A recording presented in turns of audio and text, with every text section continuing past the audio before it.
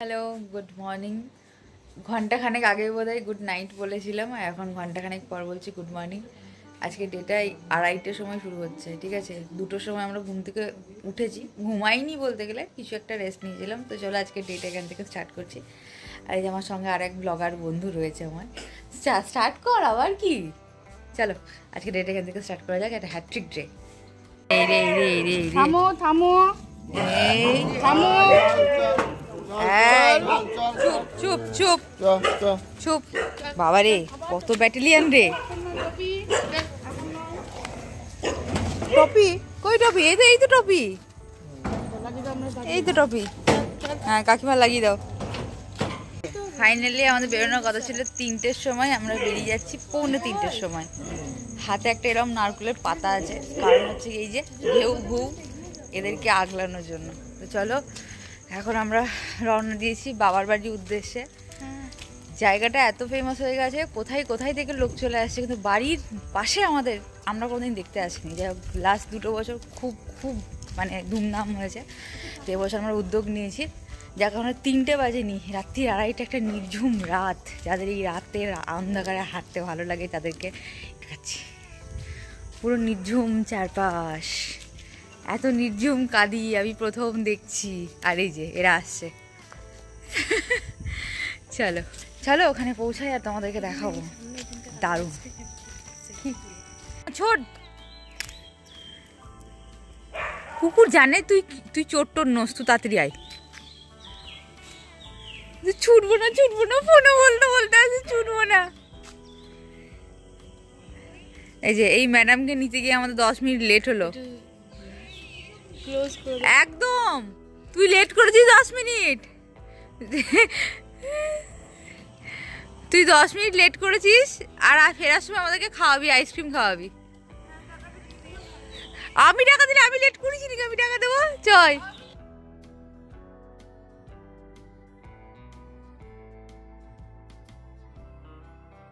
রিকু দৌড়তে দৌড়তে কাঁদির প্রতি ভালোবাসা দেখাচ্ছে। আই লাভ কাঁদি কপাল। ওই দূরে বাবার বাড়ি। চলো, আমরা হেঁটে হেঁটে ক্লান্ত। ছোর গোল শুনে বোঝা যাচ্ছে যে কাছাকাছি চলে এসছে। আর মোটামুটি মানুষজন ভালোই দেখতে পাচ্ছি। এতক্ষণ রাস্তা পুরো ফাঁকা ছিল, নির্জন ছিল। এই যে, একদম কাছাকাছি চলে এসছে। এটা হচ্ছে বাবার বাড়ি, রুদ্রদেবের বাড়ি, আর এই যে মানুষজন। পিছন দিক পিছন দিক দিয়ে যাও। পিছন দিক নেই পিছন দিক এই হচ্ছে মানুষের এই সামনের দিকেও যাওয়া যাবে। প্রবেশ করে গেলাম বাবার বাড়িতে। আর এসে ভক্ত সমাগম।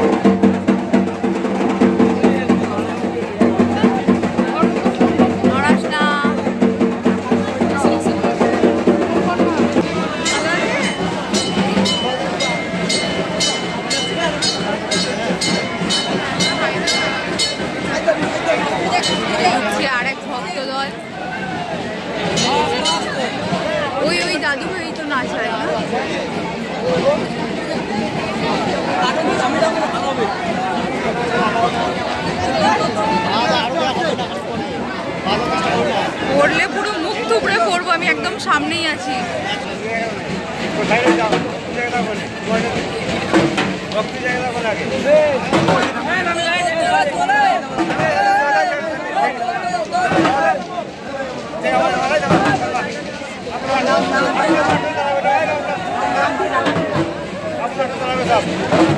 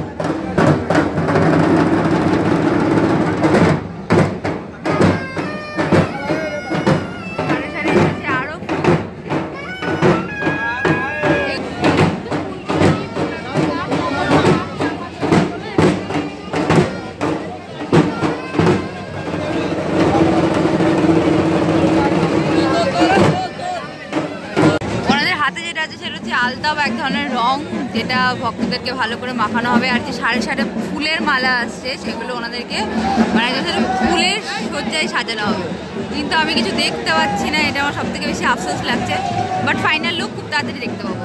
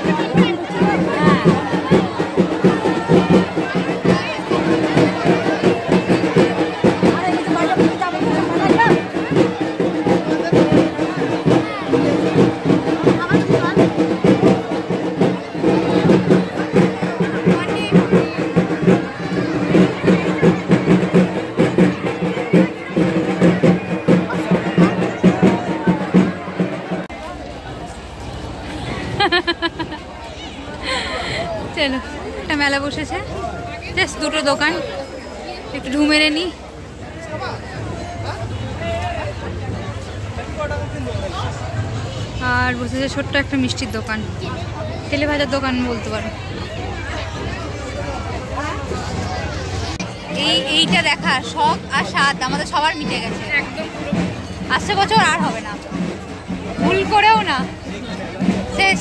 এটাই শুরু ছিল প্রথম ছিল এটাই শেষ।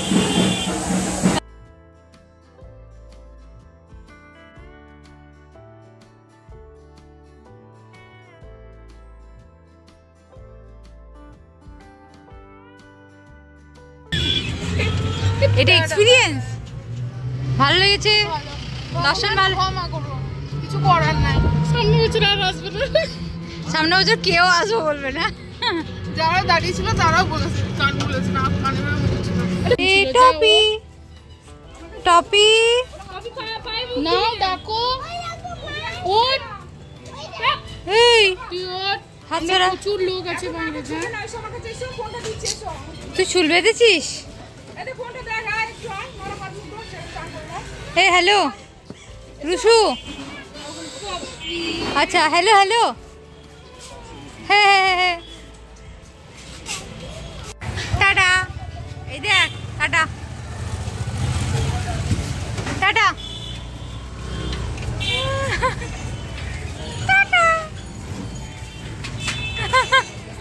In front of my second home ah চলে এসছি। পায়ের যে কি বাজে ও মানে অবস্থা কি বলব? যাই হোক পৌঁছে গেছি। আধা বাড়ি পৌঁছে গেছি আর আধা যেতে পারলেই হবে।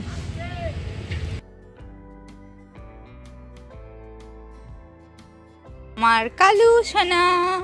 ও আবার কি? কালু সোনা শুনছো?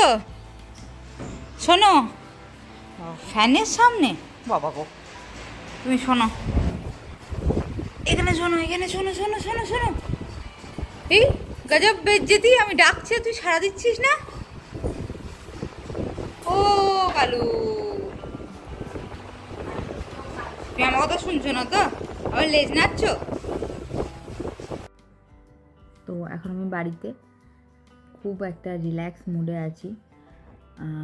স্নান টান সেরে বসেছি, তোমাদের সাথে একটু কথা বলব বলে। সেটা হচ্ছে গিয়ে আমি প্রত্যেক দিন নাইটে ব্লগ এন্ড করি বাট ওই ভোর তিনটে থেকে দুটোই বলছি, কারণ দুটোর সময় ঘুম থেকে উঠেছি, তখন থেকেই চরণ দুটো চলছে আমার। তো দুটো থেকে এখনও পর্যন্ত আমি এই বসলাম। হ্যাঁ ইন্দ্রাণীদের বাড়িতে যখন যতক্ষণ একটু টিফিন করেছি, ততক্ষণ একটু বসেছিলাম। আমি আমার স্কুটি নিয়ে আসার সাহস একদম করতে পারছিলাম না। তারপরে কি মনে হলো যে মানে একটাও টোটো পেলাম না মানে কিছুক্ষণ দাঁড়ানো, দাঁড়ালাম রাস্তায়, একটাও টোটো পেলাম না। তারপর মনে হলো যে না, সাহস করে স্কুটিটা নিয়ে আসি। তো খুব সাবধানে আমি গাড়ি চালিয়ে বাড়ি এসেছি। তারপর স্নান টান সেরে তোমাদের সঙ্গে কথা বলব বলে একটু বসেছি। তো এক্সট্রিমলি সরি আজকে আমার ব্লগটা আমি কন্টিনিউ করতে পারছি না, কারণ আমার পায়ে অসহ্য ব্যথা করছে। আমার মানে হয়তো আমার চোখে মুখে ধরা পড়ছে যে আমার শরীরটা একটুও ভালো লাগছে না। যাই হোক, চলো, দেখা হচ্ছে নেক্সট একটা ব্লগে খুব তাড়াতাড়ি ভালো থেকো, সুস্থ থেকো। আর ব্লগটা ভালো লেগে থাকলে like comment share and subscribe করে দিও।